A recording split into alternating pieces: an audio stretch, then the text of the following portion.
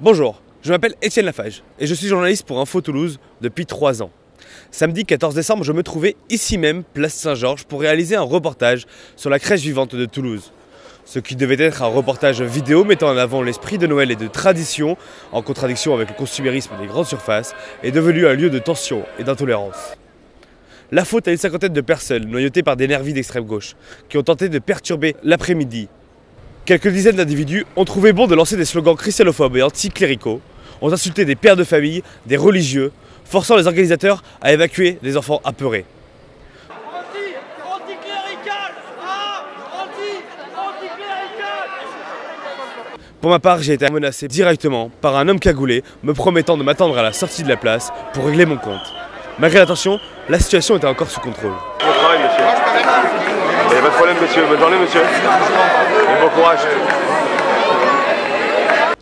Et dans les minutes suivantes, un jeune manifestant s'est introduit sur la place pour se rapprocher de la scène.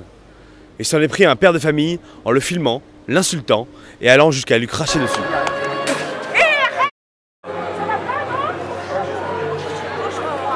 Après avoir été forcé de quitter les lieux, cet individu est revenu sur place, cette fois pour s'en prendre à moi.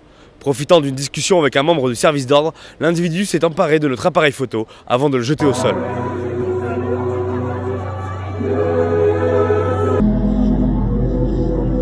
S'en est suivi une bousculade où l'homme a été exfiltré.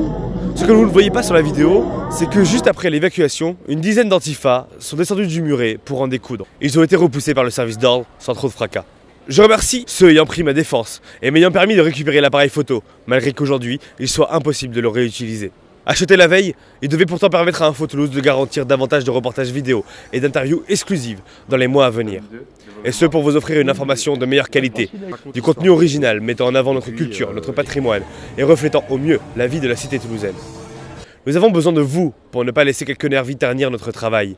Je compte sur vos dons pour nous aider à racheter notre matériel et nous permettre de continuer le projet. Pour vous, pour la liberté d'informer et contre la censure des bien-pensants, je vous remercie.